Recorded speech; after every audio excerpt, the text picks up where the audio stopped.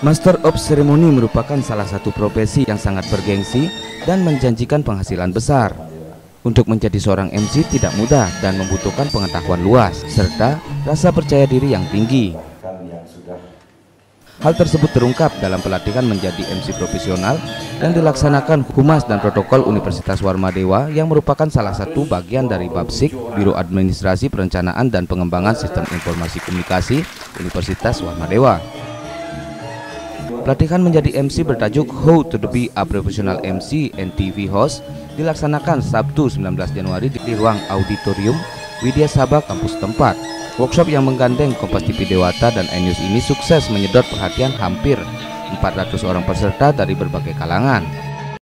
Yang pertama, kami sangat mengapresiasi kegiatan yang diadakan oleh Humas di bawah Bapsik Universitas Warmadewa uh, melalui kegiatan kerjasama ini antara iNews TV dan Kompas TV. Kami mengucapkan terima kasih yang sebesar-besarnya bahwa media yang namanya Enus TV dan eh, Kompas TV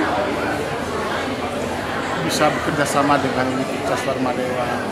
Ke depan kami harapkan adalah bagaimana kalau kampus kita tanpa media itu sangat sangat tidak berarti apa-apa begitu ya, tetapi harapan kami ke depan bagaimana uh, kerjasama ini bisa terus kita tingkatkan dengan TV-TV yang lain juga termasuk juga pelatihan hari ini merupakan satu, salah satu awal bagaimana kita bisa meningkatkan kompetisi kompetensi mahasiswa yang eh, terkait dengan bidangnya yaitu bidang penyiaran ini.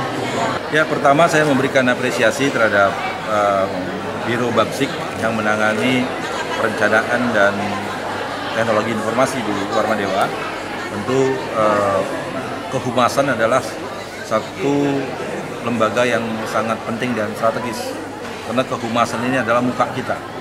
Oleh karenanya eh, humas mestinya harus mampu memberikan informasi-informasi yang aktual, informasi-informasi yang benar-benar eh, bisa dipercaya kebenarannya. Dan ini juga bagian dari melawan hoak yang eh, selama ini menjadi momok dalam model komunikasi massa. Oleh karenanya humas harus kita perkuat dan salah satu uh, profesi yang harus bisa kembang kita kembangkan di kehumasan adalah menjadi master ceremony dan tentunya uh, peran media juga harus ditopang oleh ketersediaan sumber daya manusia yang berkualitas khususnya dalam bidang uh, informasi, komunikasi dan teknologi informasi. Dengan pelatihan MC tersebut diharapkan dapat memberikan ilmu dan pengalaman bagi mahasiswa yang dapat digunakan di kemudian hari, terutama bagi yang memiliki keinginan atau hobi menjadi MC.